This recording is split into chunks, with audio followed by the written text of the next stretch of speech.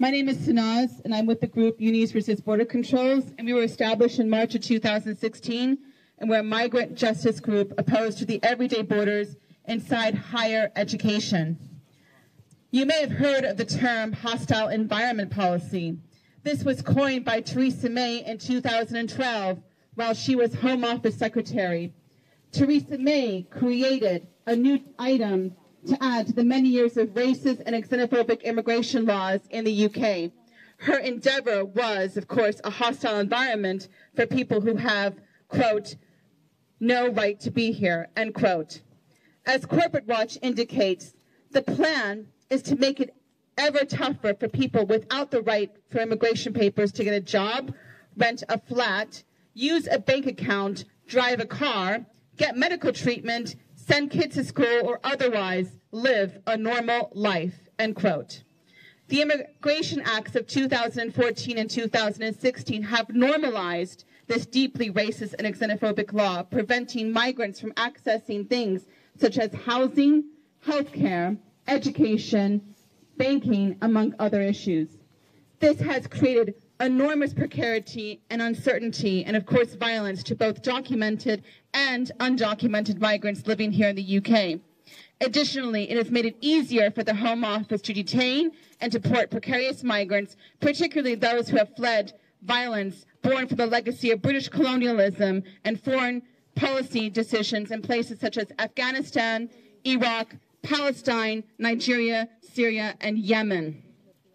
Inside the university, the hostile environment takes the form of intensive attendance monitoring of migrant students and university staff. Additionally, as part of the hostile environment policy in universities, lecturers and administrative staff are required to act as border po police on their migrant staff and students. We are here at Morton Hall, a detention center that in the past year has been the site of four detainee deaths. According to the charity Migrant Justice, since 2000, 43 migrant detainees have died in detention centers. As a result of this hostile environment policy, Unis Resist Border Controls has seen an increase in migrant students finding themselves in detention centers such as Morton Hall.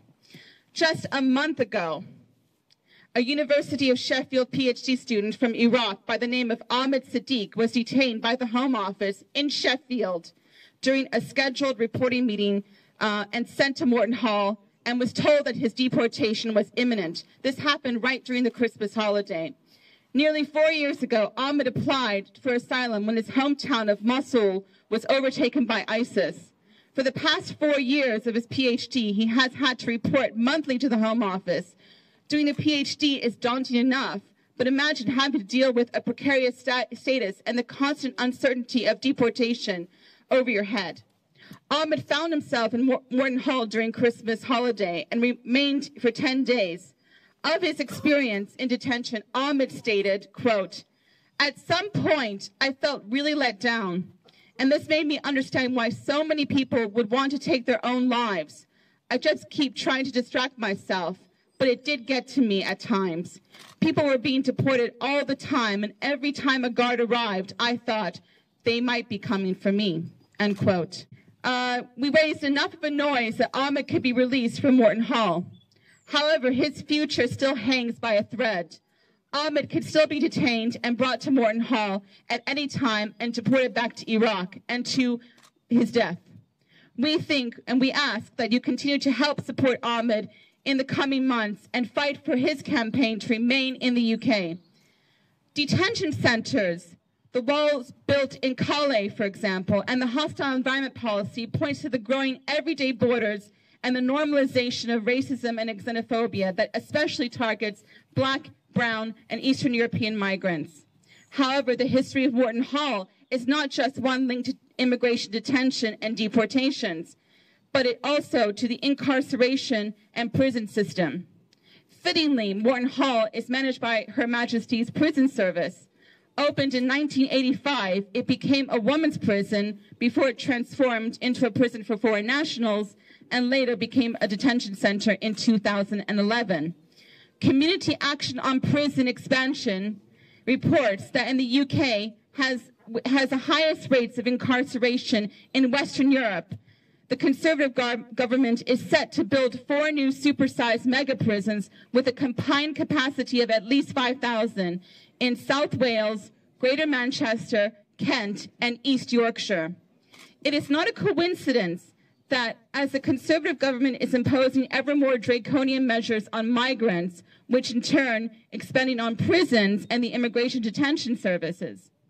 The people that will find themselves being exploited by the increased carceral systems will be black and brown migrants. As the as CAPE explains, incar incarcerated migrants, along with their British counterparts, will be exploited as, quote, super cheap labor, end quote, inside the prison system.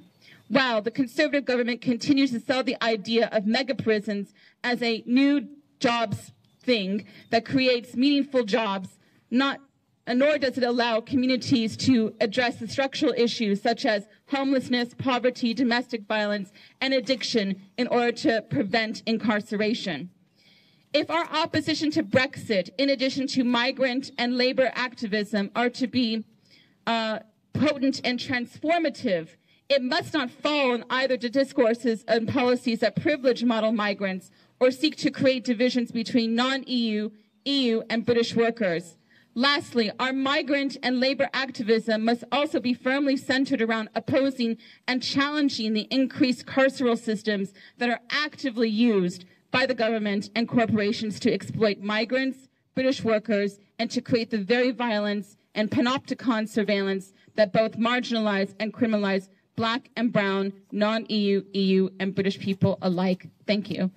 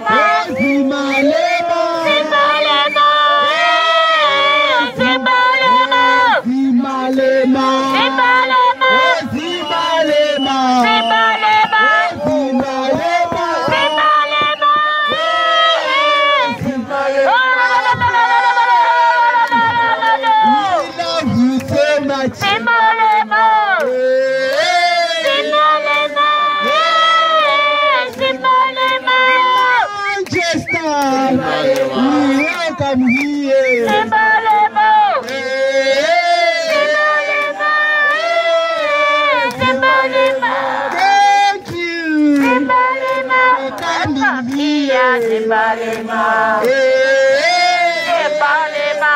Hey, Palema.